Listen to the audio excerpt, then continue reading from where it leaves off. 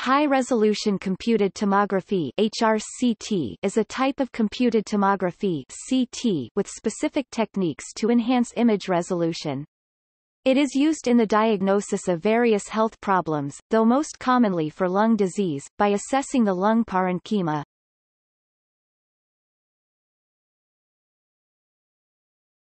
Topic. Technique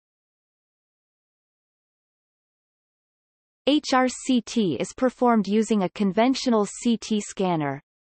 However, imaging parameters are chosen so as to maximize spatial resolution. A narrow slice width is used, usually 1 to 2 mm. A high spatial resolution image reconstruction algorithm is used. Field of view is minimized so as to minimize the size of each pixel, and other scan factors, e.g., focal spot, may be optimized for resolution at the expense of scan speed. Depending on the suspected diagnosis, the scan may be performed in both inspiration and expiration. The patient may also lie prone face down rather than the more usual supine face up. As HRCT's aim is to assess a generalized lung disease, the test is conventionally performed by taking thin sections 10 to 40 mm apart. The result is a few images that should be representative of the lungs in general, but that cover only approximately one-tenth of the lungs, because HRCT does not image the whole lungs by using widely spaced thin sections, it is unsuitable for the assessment of lung cancer or other localized lung diseases. Similarly, HRCT images have very high levels of noise due to thin sections and high-resolution algorithm, which may make them non-diagnostic for the soft tissues of the mediastinum. Intravenous contrast agents are not used for HRCT as the lung inherently has very high contrast soft tissue against air, and the technique itself is unsuitable for assessment of the soft tissues and blood vessels, which are the major targets of contrast agents.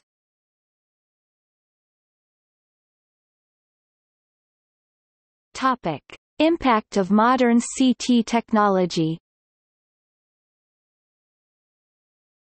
The technique of HRCT was developed with relatively slow CT scanners, which did not make use of multi-detector MDCT technology. The parameters of scan duration, z-axis resolution and coverage were interdependent. To cover the chest in a reasonable time period with a conventional chest CT scan required thick sections e.g., 10 mm thick to ensure contiguous coverage as performing contiguous thin sections required unacceptably prolonged scan time, HRCT examination was performed with widely spaced sections. Because of the different scan parameters for conventional and HRCT examinations, if a patient required both, they had to be performed sequentially. Modern MDCT scanners are able to overcome this interdependence, and are capable of imaging at full resolution yet retain very fast coverage. Images can then be reconstructed retrospectively from the volumetric raw data, because of this, it may be possible to reconstruct inspiratory HRCT-like images from the data taken from a normal chest CT scan. Alternatively, the scanner could be configured to perform contiguous 1 mm sections for a HRCT examination. This provides greater diagnostic information as it examines the entire lung, and permits the use of multi-planar reconstruction techniques. However, it brings the expense of irradiating the entire chest instead of approximately 10% when performed using widely spaced sections.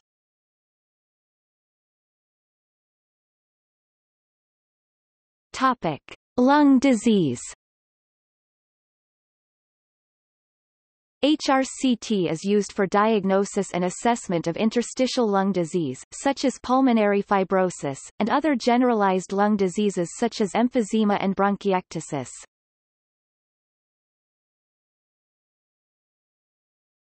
Topic. Nodularity The presence of nodules on high-resolution CT is a keystone in understanding the appropriate differential. Typically, the distribution of nodules is divided into perilymphatic, centrilobular and random categories. Furthermore, nodules can be ill-defined, implying they are in the alveoli, or well-defined, suggesting an interstitial position. Distribution and appearance allow understanding of the disease process relative to the secondary lobule of the lung, the smallest anatomic unit with surrounding connective tissue, usually 1 to 2 cm across. Perilymphatic nodularity deposits at the periphery of the secondary lobule and tends to respect pleural surfaces and fissures. Sarcoidosis, lymphangitic spread of carcinoma, silicosis, coal workers pneumoconiosis, and more rare diagnoses such as lymphoid interstitial pneumonitis and amyloidosis are included in the differential. Centrilobular nodularity deposits at the center of the secondary lobule, but spares pleural surfaces. Differential includes endobronchial tuberculosis, bronchopneumonia, endobronchial spread of tumor, and again silicosis or coal workers pneumoconiosis. For randomly distributed nodules, the differential includes miliary tuberculosis, fungal pneumonia, hematogenous metastasis and diffuse sarcoidosis.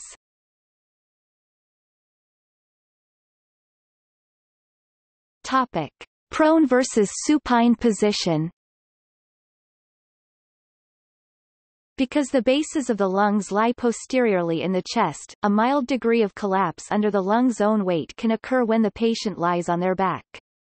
As the very base of the lungs may be the first region affected in several lung diseases, most notably asbestosis or usual interstitial pneumonia UIP, the patient may be asked to lie prone to improve sensitivity to early changes of these conditions.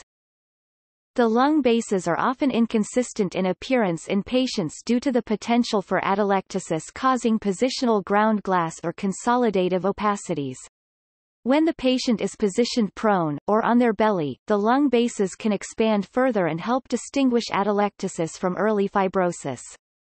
In patients with normal chest radiographs, prone scans have been found useful in 17% of cases, particularly in excluding posterior lung abnormalities. In patients with abnormal findings on chest radiographs, prone scans are only useful in 4% of cases. The scans may be more useful in patients with basilar predominant disease processes, such as asbestosis and idiopathic pulmonary fibrosis. Airways diseases, such as emphysema or bronchiolitis obliterans, cause air trapping on expiration, even though they may cause only minor changes to lung structure in their early stages. To enhance sensitivity for these conditions, the scan may be performed in both inspiration and expiration. HRCT may be diagnostic for conditions such as emphysema or bronchiectasis. While HRCT may be able to identify pulmonary fibrosis, it may not always be able to further categorize the fibrosis to a specific pathological type e.g., non-specific interstitial pneumonitis or desquamative interstitial pneumonitis. The major exception is UIP, which has very characteristic features, and may be confidently diagnosed on HRCT alone. Where HRCT is unable to reach a definitive diagnosis, it helps locate an abnormality, and so helps planning a biopsy, which may provide the final diagnosis. Other miscellaneous conditions where HRCT is useful include lymphangitis carcinomatosa, fungal, or other atypical, infections, chronic pulmonary vascular disease, lymphangioliomyomatosis, and sarcoidosis. Organ transplant patients, particularly lung, or heart-lung transplant recipients, are at relatively high risk of developing pulmonary complications of the long-term drug and immunosuppressive treatment.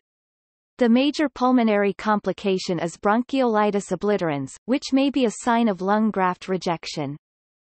HRCT has better sensitivity for bronchiolitis obliterans than conventional radiography. Some transplant centers may arrange annual HRCT to screen for this.